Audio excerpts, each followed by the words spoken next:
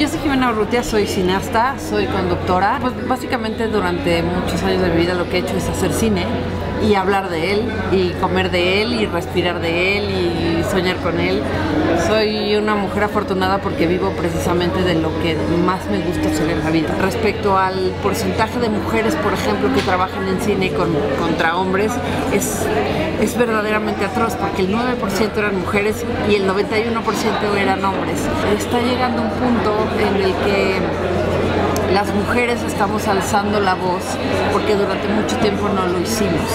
Pues básicamente creo que iniciativas como esta o como las muchas que hay ahorita alrededor del tema de quiénes somos las mujeres, porque al final eso es lo que está bien bonito, que estamos dándole la posibilidad a muchas otras personas de conocernos